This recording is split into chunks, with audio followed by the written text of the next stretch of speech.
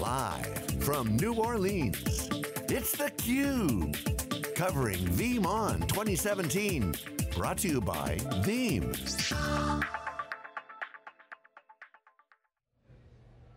We're back, this is theCUBE, the leader in live tech coverage, covering VeeamON, two days of wall-to-wall -wall coverage, Dave Vellante with Stu Miniman. You know, one of the key things that we look at in a company is how fast can they go from R&D to actual product that they can sell to customers.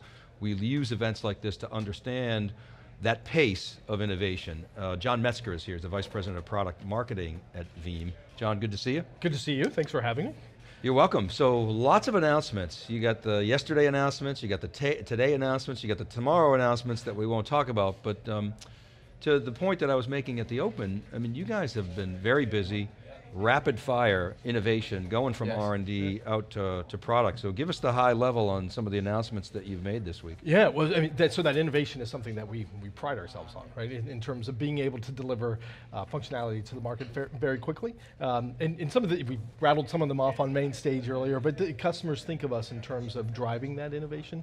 Things like snapshot integration, um, instant VM recovery, uh, the uh, Veeam Cloud Connect, uh, the services that we're delivering as part of those in past announcements. And so with V10 uh, and the wider platform, what we're announcing this week are some, some key innovations around what we call the, that business, always on business continuity and uh, delivering that digital transformation agility. So we, we deliver that in a couple ways in the announcements that we supported earlier today. so it was things like native object storage support, um, which will allow uh, customers to be able to free up where they're putting, uh, give them more agility on so where they're putting their archives. Uh, today, if they're putting them into that primary storage, through this object storage, we're giving them the ability to uh, store them wherever. It could be less, less cost storage, could be in the cloud, could be wherever they want to put that. So giving, that, giving them some agility there. Um, we're supporting new workloads, which we hadn't supported before. Most customers probably think of us in terms of delivering that um, virtualization backup and recovery mm -hmm. services, primarily on-prem. We've been we've been moving in towards that multi-cloud environment, which you heard a lot about today for the last several years. But with this announcement, um, today we're doing things like supporting physical servers, uh, endpoints, and those Linux and Windows workloads in the cloud. Yeah. John, can, can yeah. I, really important point sure. there, because right, most people, I think Veeam, you think, I mean, the, the, name of the company, VM is, you know, right in the name. Um, customers are figuring out that, that multi-cloud hybrid world, and a key piece is, right, I've got my bare metal physical stuff, whether it's Windows, Linux, I've got virtualized yes. environments, I've got cloud. How do I wrap my arms around the management of all those pieces? And maybe you could speak a little to, to how, how Veeam makes sure you get kind of a similar, uh, you know, environment. Can I just manage them all together? You can. Yeah, okay. So there's a couple things we announced this week. Yeah. Um, one is in V10, uh, we are going to have that centralized agent management. So that, and when we talk about that, that's both the uh, virtualized machines as well as the agents for Windows and Linux. So uh, whether it's on an endpoint or a server, one console being able to, to manage those um, in, in a single pane of glass, so to speak. Um, but also from, uh, in, we also announced Veeam Availability Console. So we've actually announced this previously, uh, but what we, what we did announce is that we have our release candidate. Uh, so this is really targeting those service providers. So they can deliver the, the same Veeam hosted services, Veeam Cloud Connect offerings uh, through this Veeam Availability Console. So two, two pieces there that we announced from a management standpoint because we're hearing from our customers, obviously, they're looking for and Veeam's known for this, that simplified, easy to use um, solutions, and that, that centralized management is, is critical to that. Okay, and then back to the other announcement that really has caught a lot of attention is the CDP piece. Yes, yeah. So let's spend some time on that understand yeah. that a little bit better. So, so this is something that we, uh, we've positioned ourselves as saying we deliver uh, we availability for any application and data for 15 minutes or less. And that's really based off of that backup and recovery. Instant VM recovery is one where we can even say you know, within seconds or minutes. But what we're looking to do here is for those most critical workloads, right? those, those tier one applications, uh, it could be website, it could be point of sale application, whatever it is, but those most important applications to be able to deliver that RPOs of seconds, right? And in, in, the demo we gave earlier, you saw the default is 15 seconds, can go even lower, but we're looking to drive um, that uh, RPOs with replication very quickly to drive, to deliver that um, a, a, solution in the market, in addition to our backup and recovery, now that high-speed replication that is competing with um, delivering solutions that other legacy vendors aren't. Well, okay, so let's talk about this yep. for a second. So one of the problems in the world of data protection has always been it's kind of a one size fits all. You don't have the ability to say, okay, these apps, they don't need as much protection as these, and I don't have the granularity and, and the ability, because it's too complex and it's too expensive to say, okay, put this level of data protection on this, these workloads and, and, and tighten it up for these. And the concepts generally used are RPO and RTO. RPO is recovery point objective, which is essentially how much data you're going to lose. So if you're taking snapshots in 15 minute increments, you have the you potential to lose that, that data that's not snapped. Okay, fine. And then RTO is the speed of recovery, right? Okay, Yes. so those are Yes. sort of the basics, uh, the really basics. So you're announcing the ability to have very granular levels of RPO, right? Correct, And, and yep. you're doing that, if I understand it correctly, through the vSphere API for I/O filtering. Exactly. That's a key yes. ingredient, an enabler for you Ye- guys. so- absolutely, right? Because this, we're leveraging that API for us to be able to deliver uh, uh, in, a way that's supported fully by VMware. Right? Uh, be able to get access to the information data that, that enables us to deliver that faster. And many of our uh, many of the- the others in the space aren't leveraging that same. Uh, API, and so that gives us opportunities to differentiate and show show um, uh, results for. All right, so we got to ask you the elephant Yep. in the room question. We've been asking this question of CEOs at NetApp and, and, and Dell prior to them buying, you know, VMware for years, which is you got VMware, which uh, is owned by Dell, and obviously EMC is part of that. EMC is a competitor. Um, do you get the same treatment, right, as a as a VMware partner as say, you know, the insiders at Dell EMC? How do you answer that question when customers ask you? Yeah, well, so if, if good question, and, and it's one that in the past has been uh, has been a concern, but I've more and more. We, we actually had Sanjay on stage today, uh, had similar sort of level of folks on stage at the previous VeeamONs. We have a very good relationship with VMware.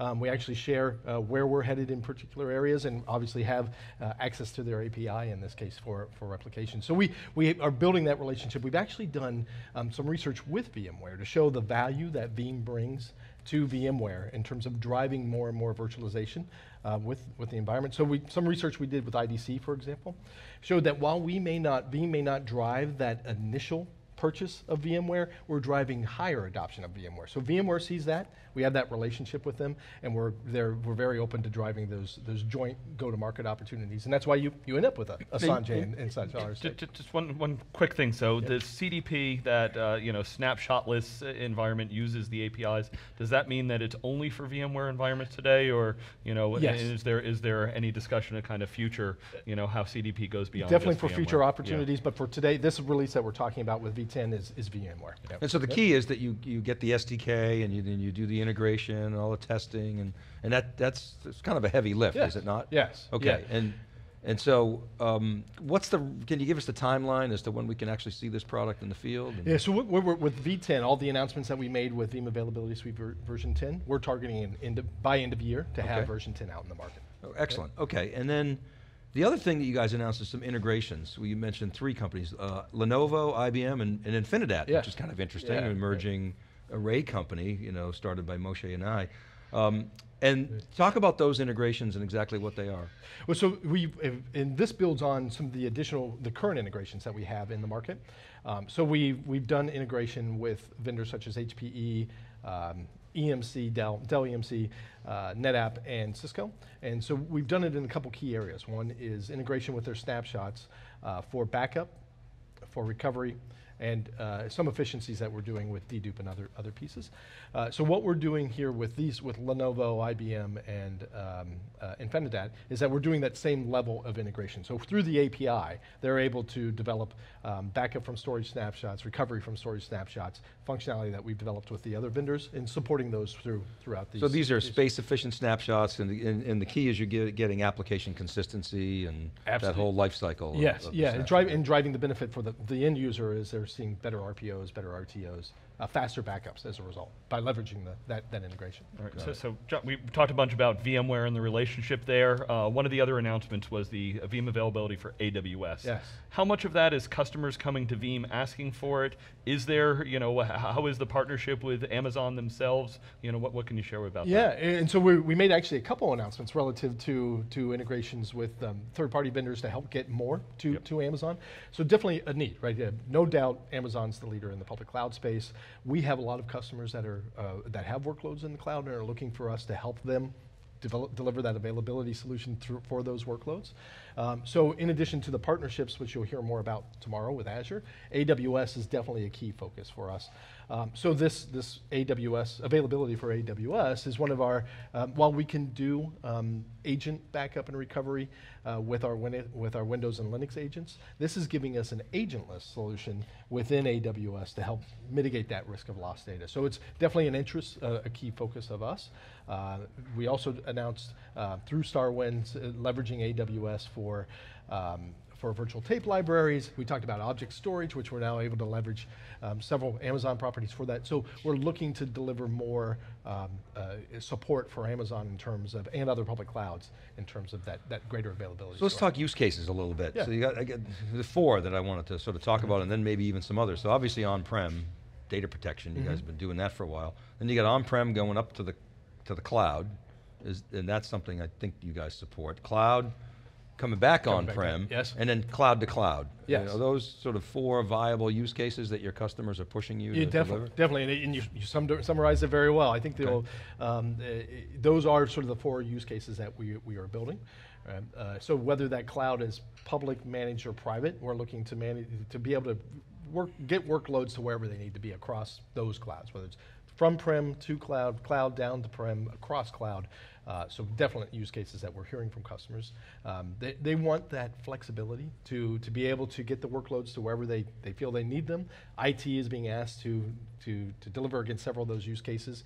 And how can I, as an IT manager, deliver against whatever's best for that person at the line of business or that, that CEO or whatever we're trying to achieve for the business. Give me that, that agility, that flexibility to be able to do And that. then beyond those four, are there, is there an affinity, I mean, there's obviously an affinity to DevOps if I can integrate my, my data protection strategy and schema directly into my build and my deploy, Yeah. that's going to give me more agility, but can you talk about the DevOps use case and you know, put some sort of meat on that bone?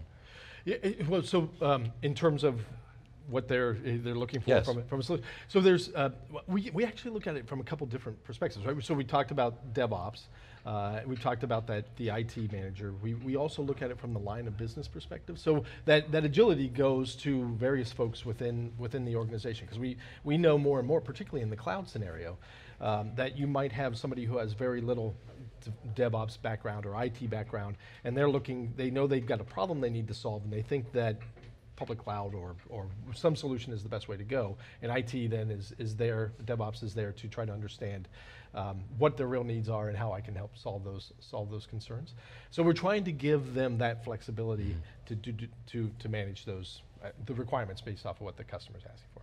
Excellent. Uh, So what's the reaction been to the, to the announcements? What have been people, you know, what, what, what have they been asking you? What kind of questions, enthusiasm? Yeah, yeah well, it's interesting. So we, you, we made the announcements this morning. Uh, I think the press release is about to hit the wire here very soon if it hasn't already.